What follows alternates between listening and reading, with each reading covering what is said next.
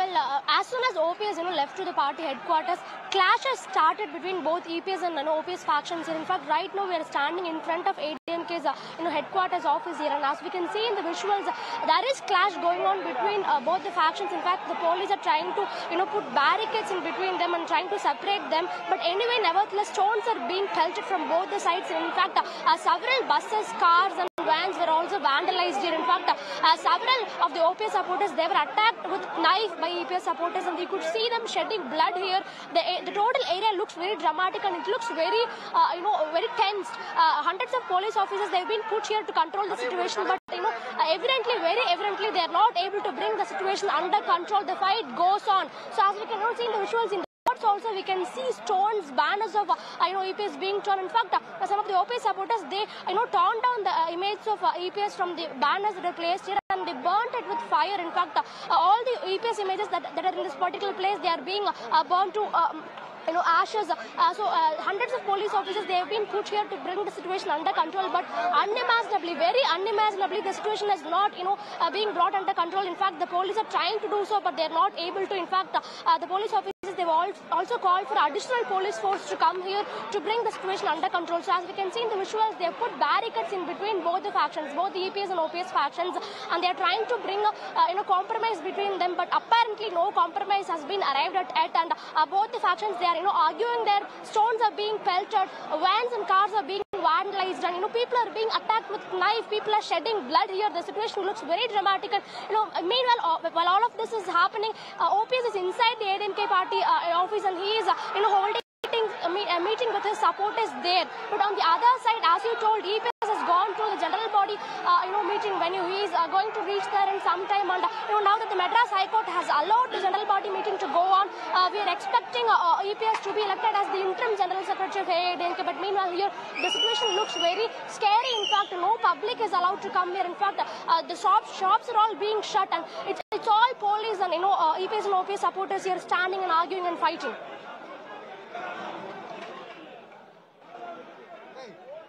Uh, Darini, tell us there. Uh, we can see a huge contingent of police deployed there. There are huge crowds behind the barricades. What are these crowds wanting? What are they demanding? And meanwhile, what is OPS doing inside? Is he coming out? Is he expected out to calm the crowds? What are these crowds demanding?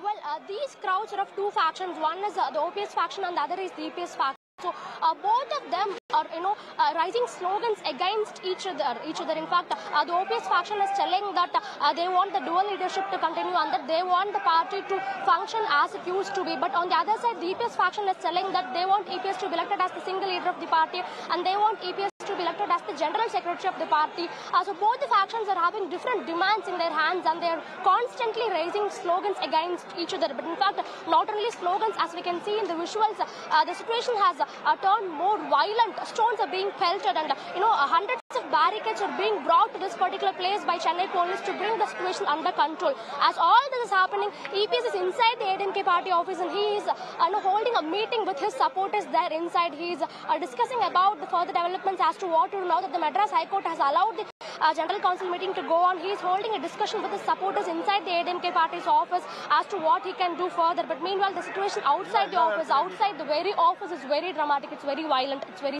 scary. All right, Darini, as we stay on these pictures, tell us what's expected at that General Council meeting. Remember, the Madras High Court has allowed, has given a green light for that meeting to go ahead. What's expected at that meeting together? Is EPS finally expected to take over the reins of the party?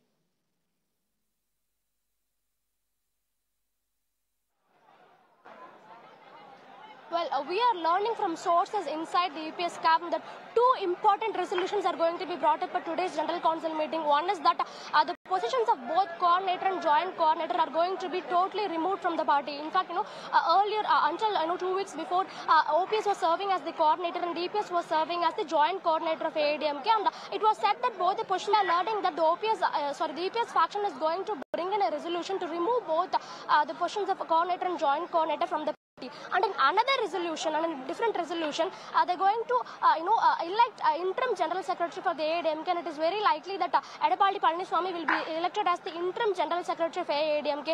And we're also learning that, uh, you know, discussions to elect a permanent general, secre- uh, general secretary will also take place because, you know, now at this point in time, you can only elect an interim general, general secretary. But, you know, after that, you, can, you should conduct an election and uh, somebody should win in that election to become the permanent general secretary. So, you know, today we are learning that EPS might be, you know, elected as the interim general secretary and discussions will be held to elect a, uh, you know, permanent general secretary to election. But, you know, from, uh, from the situation uh, here, we can see that, you know, most of these people, most of the ADMK cadre and most of the, you know, ADMK supporters, they are backing EPS now. So there's, it's, it's very likely that EPS is, you know, soon going to become the permanent general secretary of ADMK. But on the other hand, OPS might approach the, you know, High Court or Supreme Court further to stall the development and to, you know, to, uh, uh, to maintain status quo.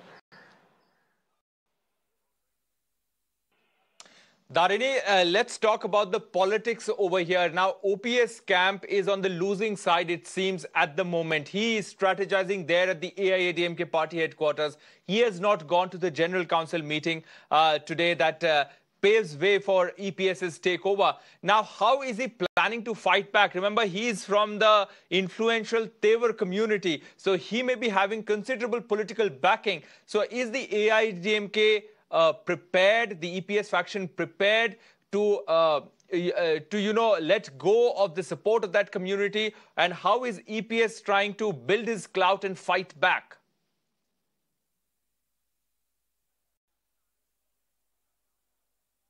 When we talk about uh, OPS boycotting uh, today's general body meeting, we have to remember what happened during the previous general body meeting. You know, last time when OPS went to the meeting venue, he was humiliated, water bottles were thrown at him and supporters were constantly slogans against him and they told him to get out of the venue. So he was uh, very evidently humiliated last time when he went to the venue. So that might be one of the reasons why he boycotted today's meeting. Uh, so uh, as we are telling, it's, it's confirmed that OPS has boycotted today's meeting. He's inside this very office and he's connecting a meeting with his supporters, uh, you know, uh, and talking about you know further developments. But meanwhile, as you are talking about support, you know, within the party, uh, we already know that uh, a majority of the district secretaries and majority of the general council members, they are backing EPS. In fact, 90 percentage of the district secretaries, 90 percentage of the general council members, they are backing EPS, and that's the one primary reason why EPS can be, you know, elected as the interim general secretary and then the uh, permanent general secretary of AIDMK. So when we talk about uh, the uh, cadre support, uh, of course, EPS is having a, very good support among uh, Tevar community, uh, uh, especially in the